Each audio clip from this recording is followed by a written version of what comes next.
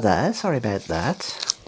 Now I've selected some items from your medical practice which I'd like to make some offers for, some fabulous equipment which would add to my collection. So the first item is this Lewis Stone confrontation stick housed in this plastic case here.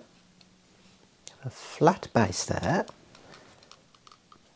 It can be stood up in the clinic. And if we remove the cap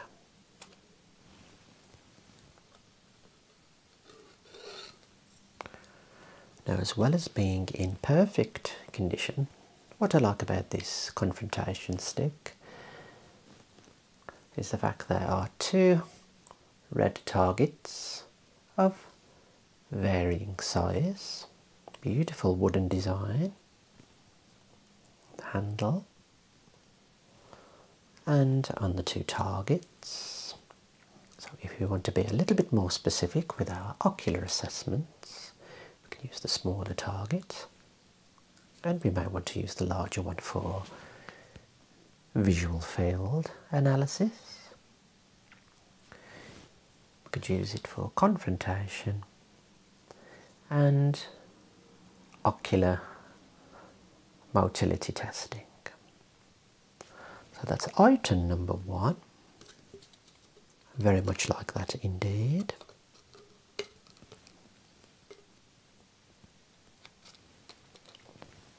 It's the confrontation stick.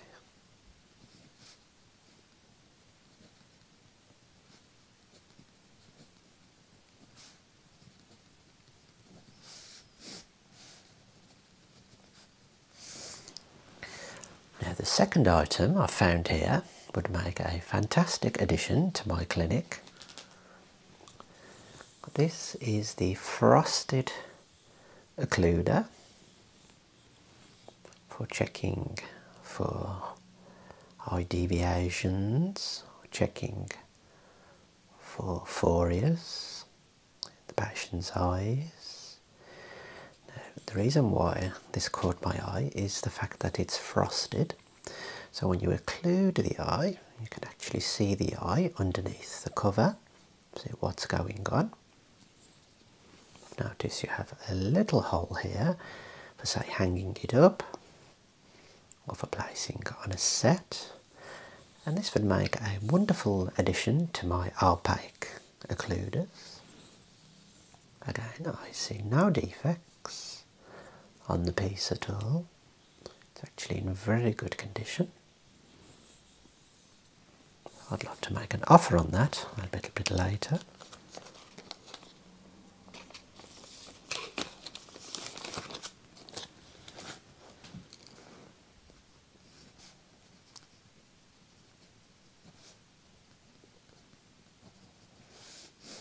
That's the frosted occluder. Next up, I've located a very sophisticated piece of ocular equipment commonly found in the eye hospital in the glaucoma clinic. It's housed in this hinged, beautiful, sturdy wooden case. As you can see here, this is the four mirror gonioscope lens.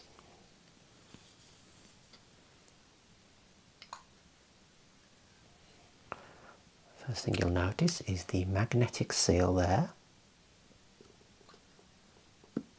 keeping the case closed at all times. There's no chance of anything coming loose.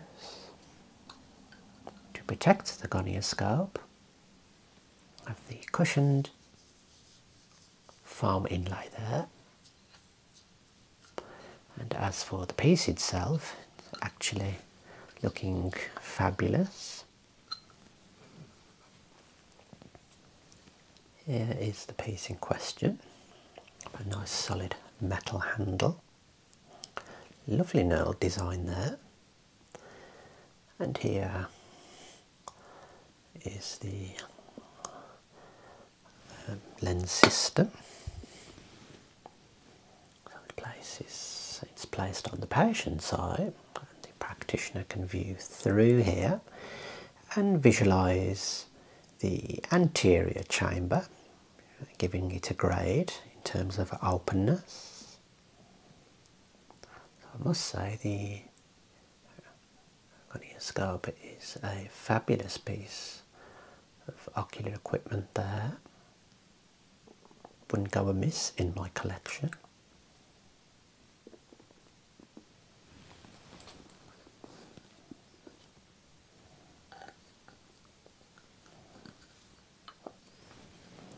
That's item three.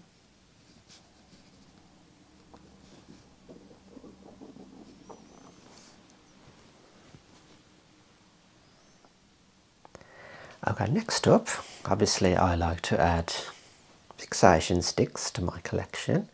Keeps everybody happy and engaged through their ocular testing. This is a fixation stick with some moving images there, which would be great for checking the eyes of younger people, keep them engaged. First, you have the monkey on the unicycle, and usefully, we have some pictures here for the little chaps to identify and the level of vision this equates to. Those are the pictures. This is the Kay pictures fixation stick and then we have some letters here if you are not using the pictures. It also makes some fabulous sounds.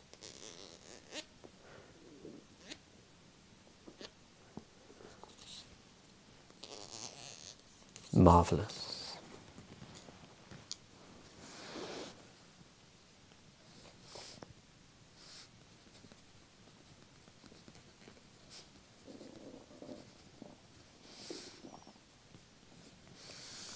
Okay, so we've made our way through four items there. Now this item from BIB Optical is going to be a marvellous addition to my clinic if you're willing to part with it. You can see it's almost like a stress ball. It's very squidgy. How would we use this in clinic? Well, it's used in conjunction with the Volk lens and slit lamp. Holding the lens in front of the patient's eye. You can rest our elbow, hold the lens in front of the patient there, and it provides excellent support for the elbow there. A very simple but useful piece of equipment there.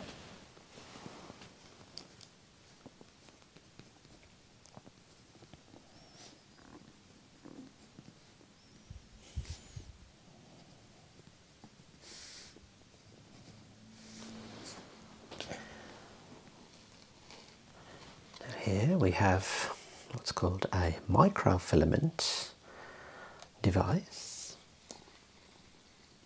Something I feel could be used with our cranial nerve examinations and foot examinations. So if we just raise that there, we have the filament here and that can be used against the patient for checking sensations on various parts of the body. Again, good condition. It also has a slot here for having it in a jacket pocket. And I've also noticed it comes with five extra microfilaments there. Come in very handy in my clinic.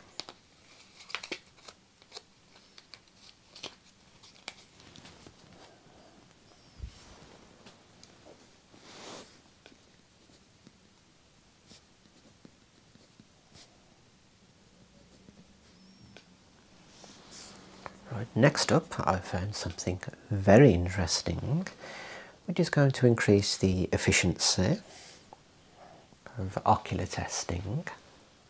Have a look at this here, see if you can tell me what it is. Have you used this much in the clinic? Okay, this is a lens rack used when performing retinoscopy on your patient. Right. Two paddles of lenses. You have your minus lenses here ranging from 0.5, half a diopter, to 15 diopters there. When I reviewed the item earlier there were no defects. All the lens powers were correct. The second one is the plus rack of lenses. Again, from half a diopter all the way to 15 diopters. So especially like the case that it's available in. Now the beauty of this, it will keep our eye testing very efficient because when we're performing a retinoscopy,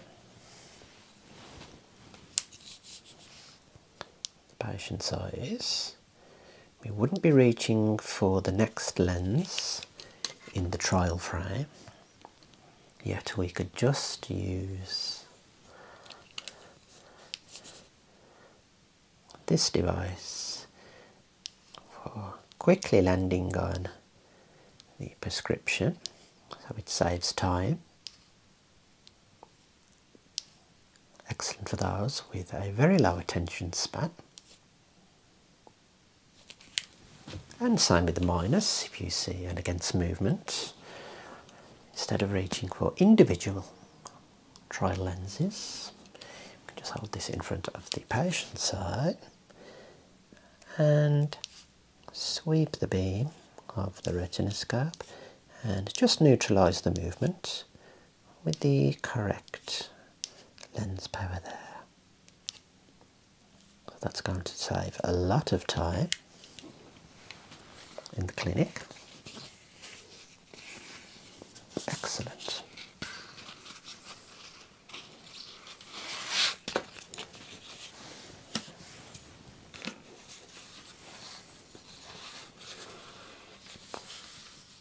Marvellous piece of equipment there.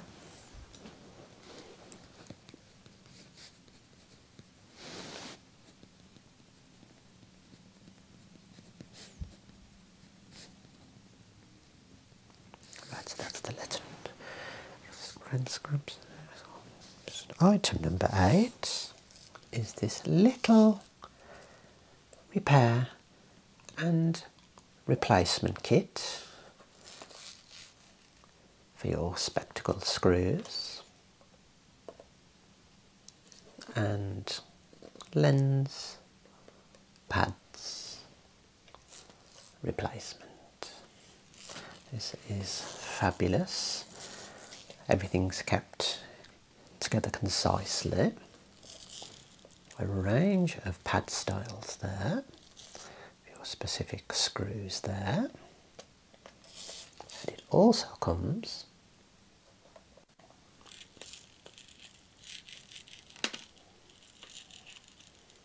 these little screw tweezers. So if we take a screw here, it like that, that is excellent for placing into intricate joints as the screw. So our fingers getting in the way. You also have a lens cloth here and this miniature screwdriver here.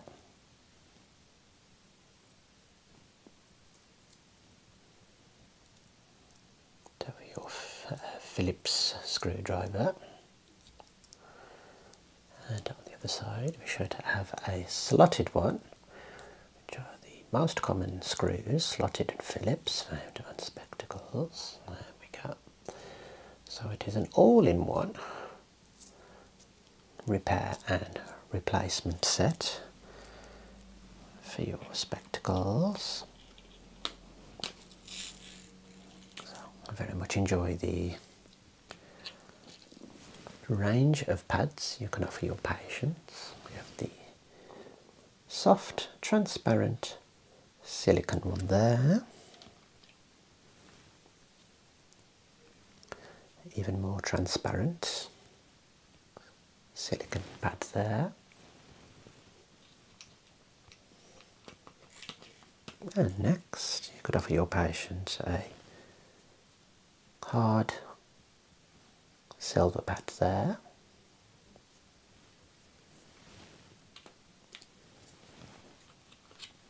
And for those who like to make a statement, you have your gold nose pad here. And the final recommendation is a hard pad with the inner gold part there and the outer transparent part of there. So you have some excellent equipment here which I'm going to make an offer for.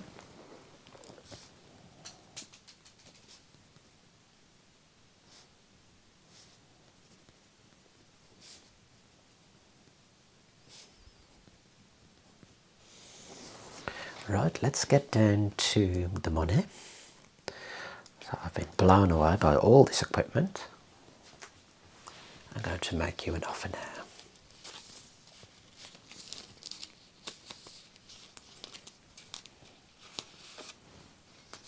Twenty, forty, sixty, eighty, one hundred,